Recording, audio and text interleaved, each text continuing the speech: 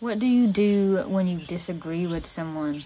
This is something that I've been thinking about lately. So welcome or welcome back to the channel. I wanted to just sit down just for a little bit and talk about what to do when you disagree with someone. I was reading recently, and I'll be honest with you, I can't remember where I was reading, but in uh, the Thompson Chain uh, reference Bibles, there's a cross reference. Uh, there's a cross reference in a lot of Bibles where it just shows you kind of verses uh, that line up together, or I like to think about it as they kind of link back to each other. And I come across Matthew 5:25, but now I can't remember where I was reading that uh, that reference, that verse. And of course, Matthew chapter 5 is part of the Sermon on the Mount. And I read this verse, and it just really kind of stuck in my mind. And it's one I've been thinking about for a week or two. And I thought, I should sit down and make a video about it. So, thinking about it in terms of what do you do when you disagree with someone? What do you do uh, if you're in trouble? If you have a situation in life that may be sticky and you don't know what to do? If you hear hammering, that's Katie hammering in the basement making her jewelry. So Matthew 5:25 says, "Agree with thine adversary quickly, whiles thou art in the way with him." Lest at any time the adversary deliver thee to the judge, and the judge deliver thee to the officer, and thou be cast into prison.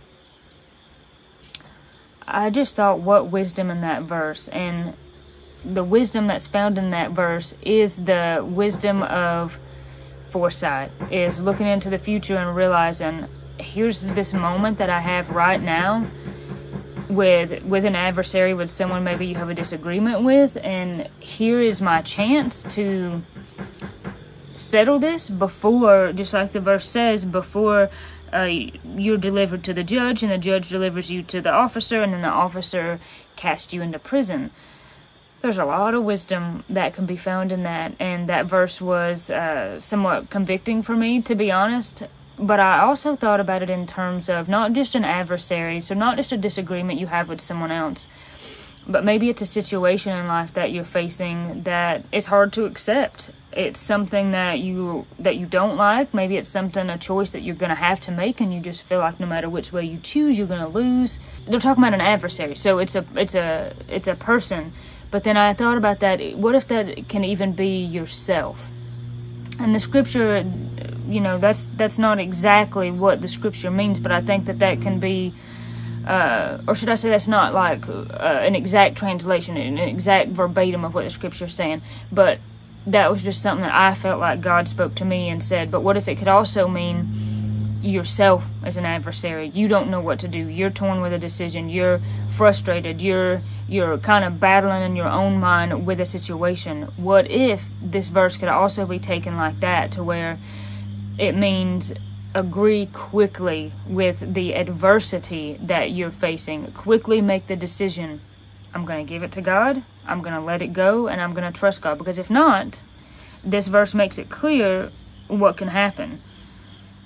Deliver to the judge, the judge to the officer, the officer into prison. And when we think about it, I want to talk about it both ways, right? That was what was cool about this verse to me is looking at it both ways. An adversary a person that you disagree with but then even just a situation that you don't want to accept it, it's something that's going on mentally emotionally within inside yourself. I want to look at it both of those ways and there's so much wisdom right there in that in that verse. Agreeing with the situation. That's the first word is agree with thine adversary okay and whether that is with a person. So let's say that you have a disagreement with a person. That's going to happen to us all throughout our life. And what's really tough is when you have a disagreement with someone in your family or a friend. That's when it's hard. You may have a disagreement with someone that you don't know. You you could um, uh, be out in town and be driving and you know someone could run into you and then they could be saying well you run into me. You pulled out. You could easily get in an argument that way but what's, and that's hard too, but what's really tough is if you have a disagreement with a family member or with a friend, that is tough. But the wisdom in this verse says basically, you better slow down and agree and settle this because if not, what's going to happen is you're going to be delivered to the judge, the judge to the officer, the officer to prison. It's going to escalate.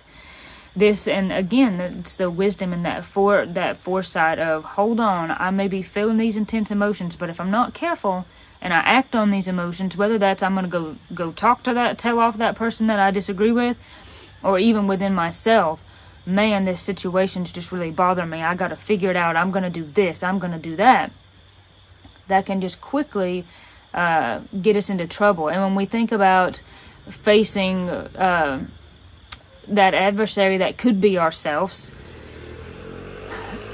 When it talks about prison, I hear a motorcycle or a dirt bike down the road there. When it talks about the end result being prison, that can even be in your mind. You know what I mean? That could be an intellectual prison of just something that you're suffering with that just seems endless. But again, if we were to say whatever that issue is, hey, hold on, I'm going to agree with this and and let's think about what the the word agreement means. I don't think that this word agreement, whether we're talking about something that you're facing personally or uh, uh, it, like a uh, issue with a family, a friend, someone else. I don't think agree means if there's someone else out there who says, well, I think it's okay. This is a very crazy example, but this will illustrate my point. I think it's okay to murder people if they are mean to you that does not mean you agree with them. Okay, you're right to stay on uh, term good terms with them and to keep from arguing. That doesn't mean that. So then, what does we get? We go deeper and we say, what does the word agree mean? Well, when you think about agreeing with an adversary, with someone else that you have a disagreement with, it doesn't mean you have to take on their viewpoint as yours, but it just means you're going to look at them and say, I respect what they're doing, but here's what I'm doing. And it's and there are there are cases where uh, there's um, I don't want to get into politics, of course, but there are there are um, life and death kind of situations like that where you know as Christians we say no that's wrong. I don't believe in that. But it doesn't mean that we hate those people who do believe in that. You know what I mean? It doesn't mean that we agree with them. It just means we're going to say hey we're not going to I'm not I'm not going to choose to fight with you because if so look at what this verse is telling me and look at where I'm going to end up. And this can be in extreme cases like that. I think this could be in any case like that. And I think this verse is also referencing court. It's talking about if you go to court, this is where it can escalate. So don't go to court. Agree on things. Settle out before you even go to court, before it escalates like that. There's so much wisdom that can be found there and then you think about okay what about just the adversity that you're facing yourself? So you're feeling this mentally emotionally spiritually but we can be adversaries to ourselves when we're living in the world and when we're not we're not relying on god if that makes sense uh, temptation from the devil. You can almost look at that as yourself. Uh, almost sometimes you feel split. Like part of you is an adversary. Your flesh right? Wow your flesh that's what i'm trying to say. Your flesh versus your spirit. That can be uh, you can be an adversary to yourself, so to speak. And so, even in that case, then what is that agreement before things escalate with whatever situation, whatever thing that you're feeling that you're facing? In both cases, an agreement with an adversary, an agreement with an adversary that might be yourself, how you do that is found right here. When you think about someone as an adversary, love your neighbor as you love yourself. You look at how you're supposed to treat other people, whether they're saved or whether they're not saved. I got a bee friend here. And that is how you agree on things. That's how you're able to let things go. And then we know that we can't do things in our own strength, but just simply the wisdom of this of saying, I better let this go with my spouse, with my family, with my friend, with someone out there in the world before this escalates I know I need to. I'm not sure how to. I'm going to pray. I'm going to trust God to give me the power to do that, to give me the strength. And we know that we should forgive other people because God forgave us. And then uh, that applies to, uh, some of that same wisdom applies to the adversary, adversity that we feel with the flesh and the spirit, which is I'm going to look to God. I'm going to rely on God. I'm going to, with my head, know what the right thing to do is and trust God's power to be there to back it up. But if we look at uh, verses 23 and 24, which is right before that, therefore If thou bring thy gift to the altar, and there rememberest that thy brother hath aught against thee, leave there thy gift before the altar, and go thy way. First be reconciled to thy brother, and then come and offer thy gift. That's huge, folks. That is huge. That is Jesus talking to people after uh, the whole Old Testament that we know about. Of course, I mean, other books, but the whole book of Leviticus about just down to the just the uh, finest detail of how to make sacrifices at the altar to atone for sin. And now you have Jesus saying, if you are at the altar and you know that you have an issue with your brother, leave the altar. Okay, the altar is this uh, super important place where you're going to lay things down, where you're going to make atonement for sin, where you're going to connect with God. And, and Jesus is saying, walk away from that and go and fix whatever this issue is with your brother. That is huge. It's it's that important. And then of course that's the setup for the for the verse that we're talking about, which is if you don't do that, you know, we've got the judge, then we've got the officer, then we've got prison.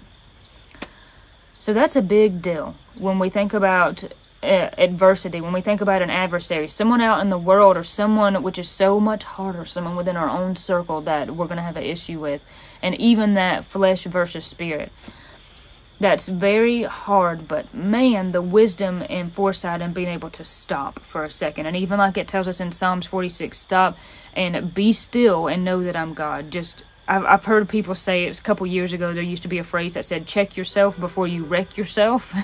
That's a really uh, good phrase right here that applies. So just really stop and say, hold on just for a second. Let me, let me check, check myself before I end up uh, in uh, prison ultimately, which you know could be actual prison or, or a terrible rift in a relationship with someone. I wanted to look just for a second in the NLT Bible. I like to cross reference to that. I just want to look just for a second and uh, read the verses in in, in that uh, translation. I just think it's helpful to read different translations to kind of get the full understanding. So verse 20, um, Matthew 5, 25 in the NLT says, when you are on the way to court with your adversary, settle your differences quickly. Otherwise, your accuser may hand you over to the judge, who will hand you over to an officer, and you will be thrown into prison. And verse 26 says in the NLT, and if that happens, you surely won't be free again until you have paid the last penny.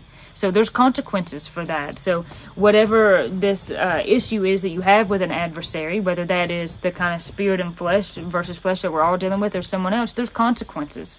Uh, prison would be a bad place to go. Uh, as we know, nobody wants to go to prison. And I like what the kind of explanation here in the NLT says. It says, You may never get into a disagreement that takes you to court. Most of us are not going to.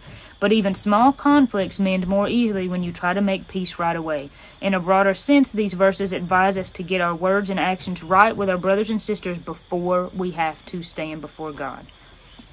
Wow, that is the key. Those small conflicts can lead to ultimately serious resentment. And that, oh, there's nothing that the devil loves more than resentment is to get a nice foothold in your relationship with someone and then to try to destroy it with some petty resentment. Wow.